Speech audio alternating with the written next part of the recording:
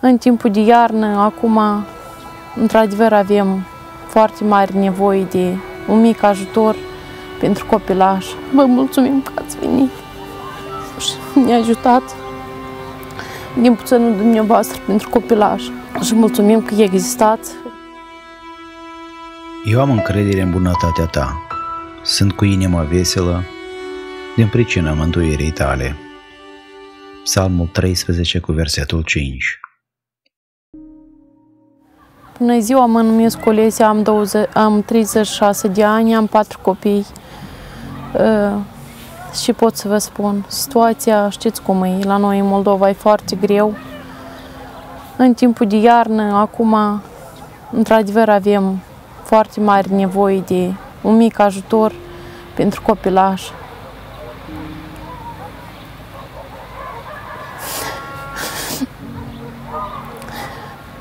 Vă mulțumim că ați venit și ne-a ajutat din puținul dumneavoastră pentru copilaj. Și mulțumim că existați, trimiși de la Bunul Dumnezeu, că aveți credință și vă rugați pentru cei sărași și mai ajutați. Nu m-am așteptat, anul trecut am scris cererea la dumneavoastră și tocmai anul ăsta nici n-am mai crezut ca să mai ajungeți pe la noi, ca să mai veniți sau ca să ne mai vedem. Sunt așa, e o soartă mai, mai grea, mai chinuită la noi, la mine, adică cu copilașii e foarte greu, cu pampers, cu lapte. Sunt momente când ajungem când nici de pâine nu avem. Am, suntem șase copii, dar fiecare pe la căsele lor, fiecare cu treburile lor nu prea ne ajutăm așa unul între altul, că, mă rog, banul, acolo lumea s-a schimbat, credința e mai puțină și sunt oameni diferiți. Trăim cum putem, cum vedeți, greu ușor, dar ne descurcăm. Încerc să fac toate pasurile cu, cu tot ce și pot. Cu greu, cu ușor, cu lacrimi, poate uneori cu, cu zâmbet, că am copii și mi-e foarte greu. Mama nu este în țară, e plecată de 2 ani. Poate dacă era e, era un ajutor. Că dacă mă simt rău sau uneori mă știi de la distanță sau nu mă jălui la nimeni. Bunul Dumnezeu, mă rog, sar de sar, către copilașii mei să fie sănătoși, să cresc mari și să văd bucurie. Fița mai mare bolnavă, mă chinui așa cum pot și cu mama. Am trăit cu primul soț. Am fetița la Chișinău și mare căsătorie cu a doilea și tot odată în Ieșoare, de atâta că oamenii sunt diferiți, așa că la început crezi că o să fie totul bine și pe urmă schimbă toate. Am copii, nu-mi pare rău că Dumnezeu cred că mi-a trimis așa o încercare sau nu știu cum să spun, că de multe ori el întreb, Doamne, Tu dacă ne-ai trimis încercarea asta, de ani să mă descurc.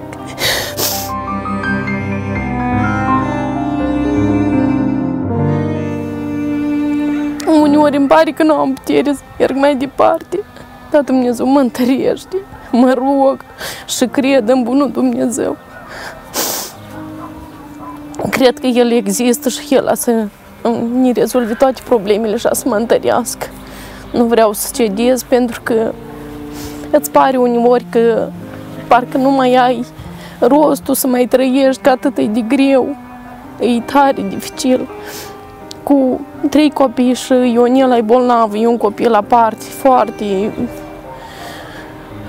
E foarte greu. E foarte greu. Ne descurcăm așa cum, cum dă bunul Dumnezeu, cum crede El că e mai greu. Și să vă spun, vă mulțumim foarte frumos. Să vă dea Dumnezeu sănătate și să vă întărească, să mai ajutați familii și să să fiți sănătoși și să vă rugați pentru familia noastră. Că eu cred în Dumnezeu, sunt o persoană care cred într-adevăr cu toată inima că Dumnezeu există și ne iubește. Și vă mulțumesc foarte frumos că ați venit, că ați ajuns în sfârșit și la noi, că v-am mai spus că de anul trecut am scris cerere și am crezut că n-a să mai veniți, n-a să ajungeți. Zic că ei cred că cum o vrea Dumnezeu, așa o să fie. Atât. Mama scumpă, vă invităm la microbus, cărcăm totul, o să mulțumiți Domnului și apoi mergem mai departe. Vă mulțumim frumos din tot sufletul. Scump prieteni, dorim din adâncul inimii să mulțumim îngerilor buni care au fost alături de suferința poporului moldovenesc pe tot parcursul anului 2023. În mijlocul dificultăților, greutăților, ei au găsit timp și au avut curajul să demonstreze dragostea față de semenii lor. Toate lacrimile vărsate de poporul moldovenesc au fost șterse doar datorită generozității la o mână de oameni. Ei sunt adevărați eroi. În cinstea lor, Dumnezeu le pregătește în cer o sărbătoare adevărată. La timpul potrivit, ei vor deveni celebre prin faptele sale, care le-au făcut față de acești oameni în suferință. Aplauzele adevărate sunt doar acele care vin din partea lui Dumnezeu și a îngerilor cerești și ei le-au meritat. Datorită lor au fost hărniți, îmbrăcați peste 500 de copii în 200 de familii din Republica Moldova, România, Ucraina și zona Transnistriei. Peste 2500 de pungi au fost repartizate bătrânilor din orașul Chișinău în fiecare duminică și în ultimile luni chiar și sâmbătă. Și în urma acestei lucrări mărețe este doar unul care merită toată slava, toată cinstea și toată onoarea. Și El este Dumnezeu Tatăl, Fiul Său Iisus Hristos și Duhul Sfânt. Noi vă dorim ca nașterea lui Isus Hristos să vă aducă bucurie, liniște și speranță în sufletele voastre. Noi vă dorim, așa cum voi ați șters lacrimi de pe obrazul fraților noștri, ca Dumnezeu să vă șteargă tristețea din sufletul vostru. Noi vă dorim, așa cum voi ați îmbrăcat pe copiii poporului nostru, așa Dumnezeu să vă îmbrace cu slava Lui nemuritoare și să aveți protecția Lui oriunde veți merge. Sperăm ca și în anul viitor să se alăture de suferința noastră și acei oameni care au avut dorința, dar nu au luat hotărârea. Au luat hotărârea, dar nu au avut posibilitatea. Au avut posibilitatea, doar că n-au reușit, pentru că anul 2023 deja a trecut. Cine seamănă în Duhul, va secera din Duhul viața veșnică. Să nu obosim în facerea binelui, căci, la vremea potrivită, vom secera, dacă nu vom cădea de oboseală. Așadar, cât avem prilej să facem bine la toți, mai ales fraților în credință. Galateni 6 cu 8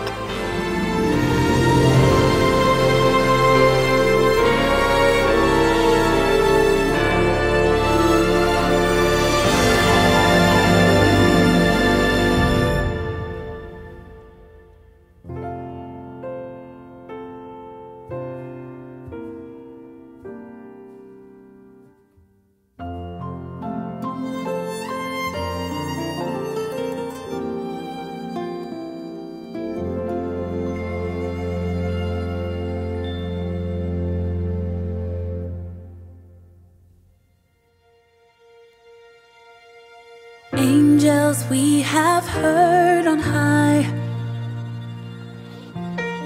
sweetly singing o'er the plains, and the mountains in reply, echoing their joyous strains.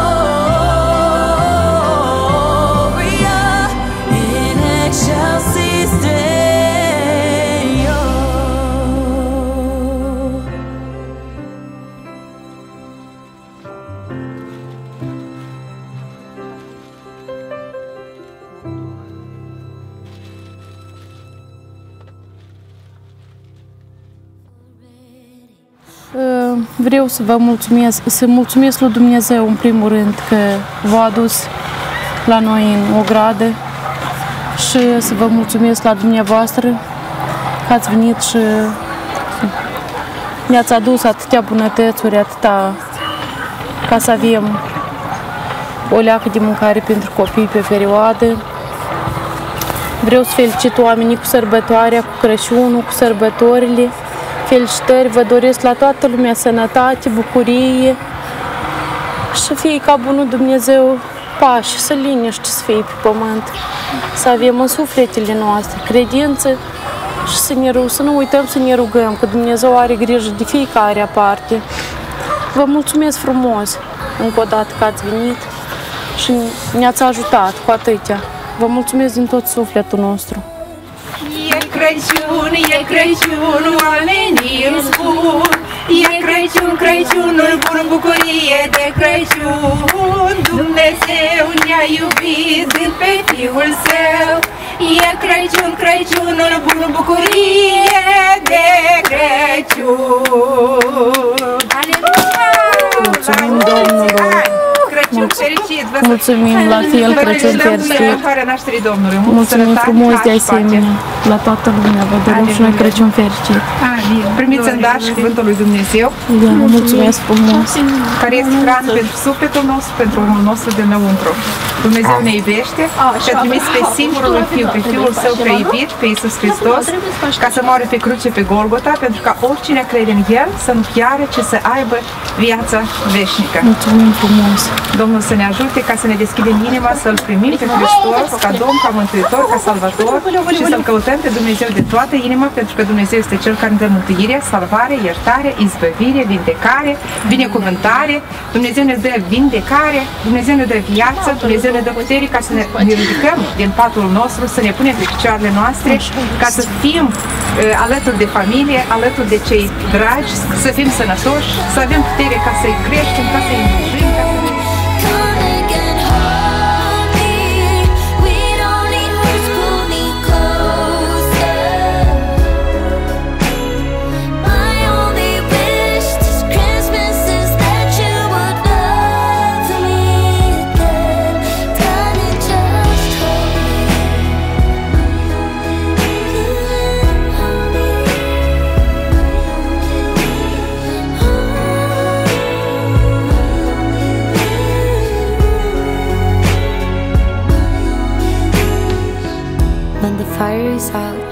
and everyone is gone, it's just me, the night, and all the stars. But my heart is full, so full of love. Cause after all, I still believe in Christmas miracles.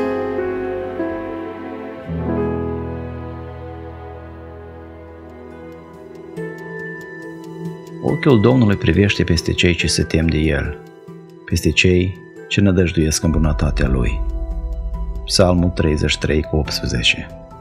Ori și cine nădăjduiește în bunătatea Domnului, Dumnezeu îi răsplătește. Preiubiți prieteni, toate aceste minuni care se întâmplă în Republica Moldova deja de 10 ani. Acum, în Ucraina, România, Transnistria, sunt datorită la o mână de oameni care ei dunează. Nimeni nu-i cunoaște, dar Dumnezeu le scrie faptele lor în cartea vieții.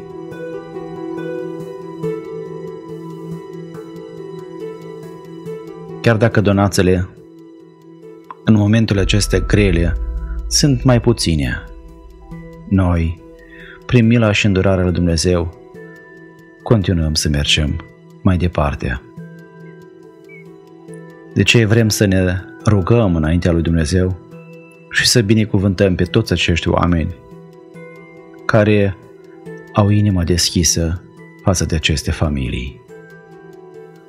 Știm că Tata Ceresc a scris totul în cartea vieții și veți avea o mare răsplată în împărația lui Dumnezeu. Prin mila și îndurarea lui Dumnezeu noi cerem ca Dumnezeu să se îngrijească de toate nevoile voastre, să vă binecuvânteze și să vă răsplătească. Fraților, sper că într-o bună zi să ne întâlnim cu toții în cer, să stăm la masa lui Avram și să ne bucurăm, căci împreună și doar împreună am putut să aducem slavă și glorie numele lui Dumnezeu. Cu lacrimi în inimă îi mulțumesc Domnului pentru voi. Vă îmbrățișez cu mâinile ferbinți, pentru că sunteți de preț înaintea Domnului. Fără voi nu eram nici noi, dar împreună am putut să facem ca numele Domnului să fie glorificat. Sperăm să ne vedem pe ogorul Domnului cât mai curând la următoarele familii. Pace vouă! N-am eu, eu de pâinea ca ieri. Pâinea ca ieri. Ei în caz nu au mâncat săraci. Ei în caz nu au mâncat săraci. Încă nu au mâncat. Încă nu au mâncat. Tot așteptăm amuș, ne punem să facem ceva. Și că acum. Ne stai greutăți. Ei în caz nu au mâncat săraci. Ei în caz nu au mâncat săraci. Am uh, mari probleme pentru a căta un lucru, nu sunt mamă puturoasă. Am uh, lucrat cât am lucrat, cât a fost de lucru timp de vară, timp de toamnă, cât a fost culesul. Și am văzut că deja nu mai am, m-am fost prin oraș să-mi caut de lucru. Am dat cereri la Will you